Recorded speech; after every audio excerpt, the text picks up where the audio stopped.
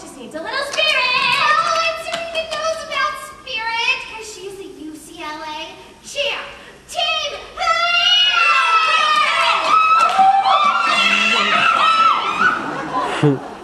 Cheerleaders scare me.